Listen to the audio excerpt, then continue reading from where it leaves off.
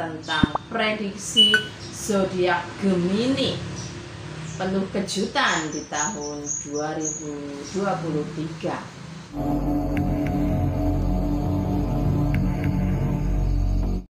Assalamualaikum, jumpa lagi dengan saya di channel Triatenov.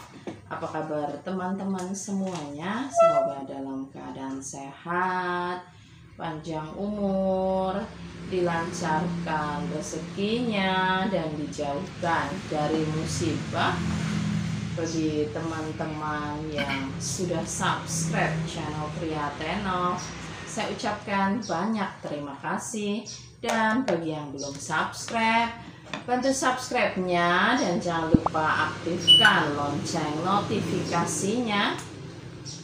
Dan tanpa berlama-lama lagi, pada kesempatan kali ini saya akan membahas tentang prediksi zodiak Gemini penuh kejutan di tahun 2023 bagi zodiak Gemini siap-siap membuka lembaran baru di tahun baru 2023.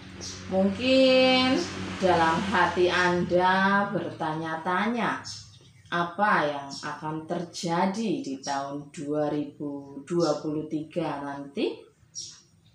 Seseorang yang lahir pada tanggal 21 Mei hingga 20 Juni termasuk dalam zodiak Gemini. Pada kesempatan kali ini saya akan membahas nasib dan keberuntungan zodiak Gemini antara bulan Januari hingga bulan Desember. Berikut ini penjelasannya. Yang pertama, bulan Januari di awal tahun 2023 ini Anda mungkin akan menghadapi sedikit hambatan dalam hidup. Dalam hal karir, Anda akan mengalami sedikit naik turun yang mungkin sulit untuk diprediksi. Sementara itu, hubungan keluarga ada sedikit masalah Meskipun mengawali tahun 2023 dengan sedikit sulit, sisi positifnya adalah bisa melatih Anda menjadi lebih kuat dan memberikan pelajaran berharga untuk ke depannya. Untuk yang kedua, bulan Februari karena kebulatan tekad dan keteguhan hati Anda, masalah-masalah berangsur mereda di bulan Februari ini. Setelah Anda keluar dari masalah, hubungan dengan keluarga ini justru hubungan menjadi erat dan hangat. Begitupun karir Anda akan semakin lancar dan mulus setelah melewati badai yang menerpa di awal tahun 2023. Untuk yang ketiga, pada bulan Maret, untuk menjaga hidup Anda lebih tenang dan menjauh dari masalah, Anda harus berhati-hati dalam melangkah Jaga perasaan orang-orang di sekeliling Anda dan berpikir dua kali sebelum berbicara.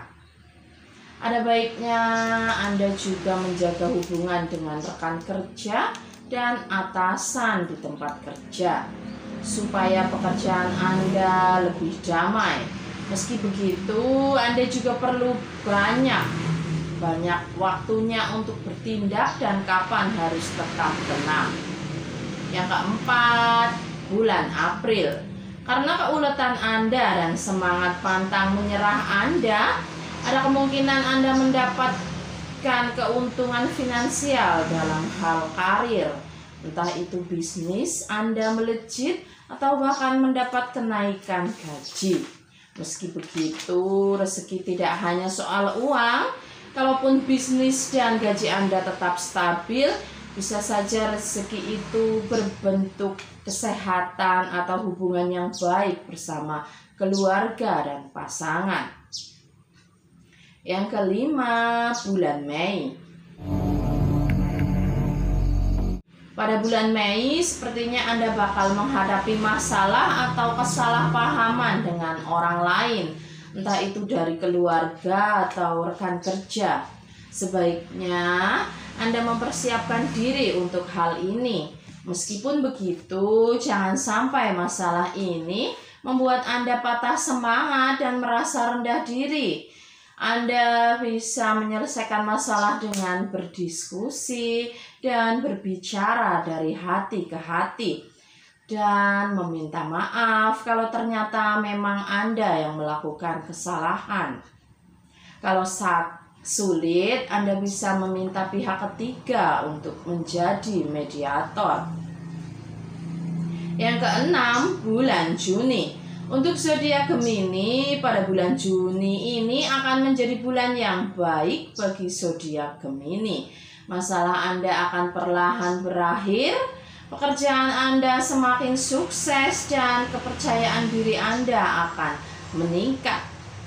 Yang ketujuh, bulan Juli.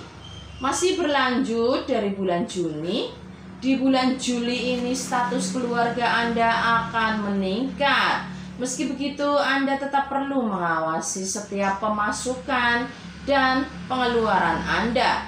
Dengan begitu, Anda bisa memantau arus keuangan Anda.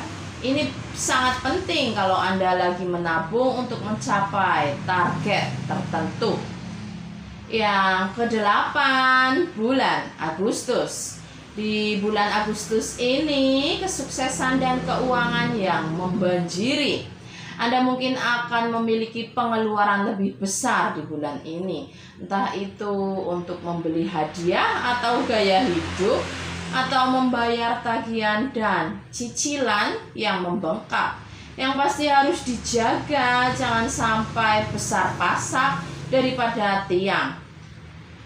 Yang kesembilan, bulan September Menuju penghujung tahun 2023, Anda akan mendapatkan hal-hal baik datang di sekitar Anda, mulai dari karir yang melesat, hubungan hangat dengan keluarga dan pasangan, kesehatan yang baik, dan Anda pun mulai menjalin hubungan lagi dengan teman-teman lama yang sempat kehilangan kontak yang ke-10 bulan Oktober. Di bulan Oktober tahun 2023, Anda kemungkinan bisa mencapai target Anda. Entah itu membeli mobil, mencapai jumlah tabungan tertentu, atau bahkan memutuskan untuk menikah. Jangan cepat merasa puas, tapi tetap harus bersyukur yang ke-11 bulan November. Hubungan Anda dengan pasangan dan keluarga akan sangat baik di bulan November ini. Penting bagi Anda, Gemini, untuk mempertahankannya. Luangkan waktu Anda untuk mereka. Mengingat sepanjang tahun ini Anda disibukkan oleh urusan pekerjaan. Anda juga bisa mulai merencanakan liburan akhir tahun yang ke-12 yang terakhir bulan Desember. Di akhir tahun 2023 cuaca lagi tidak menentu. Di masa-masa ini penting banget bagi Anda untuk menjaga kesehatan. Jangan sampai Anda sakit ketika liburan hari Natal dan tahun baru. Demikian tadi penjelasan ramalan zodiak Gemini di tahun 2023 meliputi nasib dan keberuntungan. Dan perlu Anda ingat, ini semua hanyalah ramalan, boleh Anda percaya dan boleh tidak percaya. Dan ini hanya untuk menambah pengetahuan kita semua dan selebihnya kita serahkan hanya kepada Tuhan Yang Maha Esa. Terima kasih telah menyaksikan channel Tria Tenor. Bantu subscribe-nya dan jangan lupa aktifkan loncengnya, like, komentar, dan share sebanyak-banyaknya. Semoga bermanfaat. Akhir kata, wassalamualaikum warahmatullahi wabarakatuh.